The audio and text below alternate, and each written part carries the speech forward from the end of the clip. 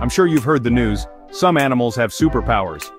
Today, we're exploring how five incredible creatures use echolocation to find their way. First up we have the superstar of echolocation, the bat. Bats send out high-pitched sounds that bounce off objects guiding them through the night. Next the dolphin. These clever mammals use echolocation to hunt and communicate underwater. It's like having sonar built in. Now, onto the oilbird. This nocturnal bird from South America navigates pitch-black caves using echoes from its clicks. Amazing, right? Fourth on the list is the beluga whale. Known as the canaries of the sea, belugas use their melon-shaped head as a sound projector for echolocation. Talk about versatile. Finally, we have the shrew.